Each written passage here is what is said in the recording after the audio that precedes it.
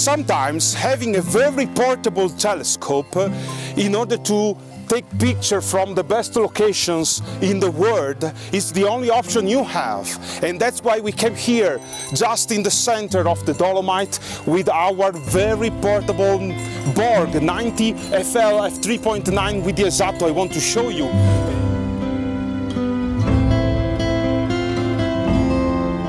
And, oh, wow, I found here just for me in equatorial mount. It's even better.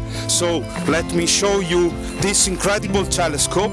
is so compact and easy to transport that it's very easy and lightweight. So I can install in a very fast way on our mount and being ready with the Eagle and the Esatto the brand new Borg 90FL f3.9 is a great astrograph.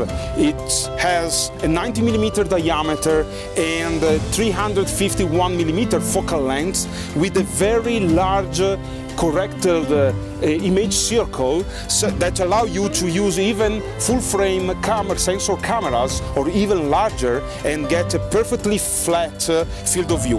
And this is coming with the new Esatto 3 inches focuser, so it's a very compact instrument, perfect for traveling astrophotographers.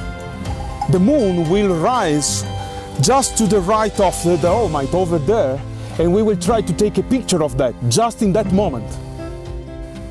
Focusing with the Esatto and controlling the full frame camera with our Eagle, thanks to the wide frame area, we are able to record the partially eclipsed moon rising from the Dolomites.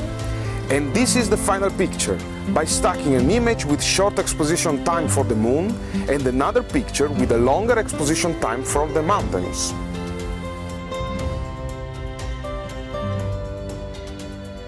Great performances with the best portability.